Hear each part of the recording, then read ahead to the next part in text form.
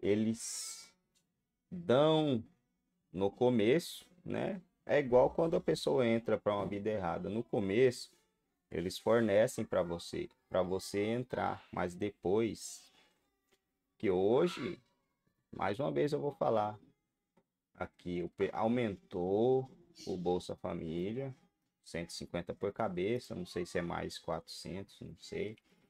E tem outro auxílio aí, tem mais um, né? É, mais um de 200 e pouco. Então o povo tá olhando para isso.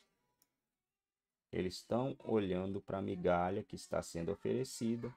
É uma migalha que é oferecida, só que ela é tomada. Gente, essa negócio do, do imposto que foi aprovado agora aí é beneficia, mas vai ser tomado, né? Vai ser tomado de novo. É tomado no imposto, só que o povo cai nessa cilada.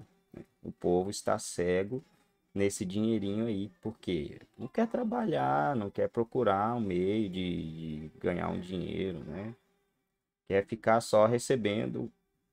Na verdade, todo mundo quer, vamos ser hipócrita, né? De querer receber dinheiro dentro de casa. Todo mundo quer, só que tem gente que abre o olho e, pô, quem que consegue viver com um dinheiro desse, gente, sem trabalhar, né? É um dinheiro que poderia ser só um cumprimento, mas a pessoa é, olhar para um governo e aplaudir ele por causa de um trocado que lá na frente vai ferrar com os filhos deles, é muita sacanagem. Né? É muito. E olha aí. Olha aí. Demitiu dois delegados da Polícia Federal. O chefão. O Vingador mais forte. É, meus amigos estamos no caminho, estamos no regime, né? Mas tem um processo. É, não, eles, nós estamos já no regime, só que não é assim, né? Ah, se isso for o regime, tá bom demais. Mas existe um processo, né? Ninguém vai chegar, você não vai acender um fogo, já acendeu o carvão, você vai jogar o fogo lá e ele já vai ficar ardendo em, em brasa, né? Não.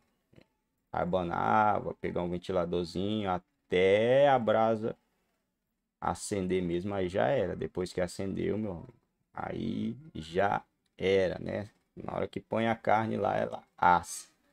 Enquanto está acendendo, tá tudo legal, tá tudo bem, ainda não tá acontecendo nada. Ó, tem um benefício aí que tá ajudando os pobres e os necessitados. Por enquanto é.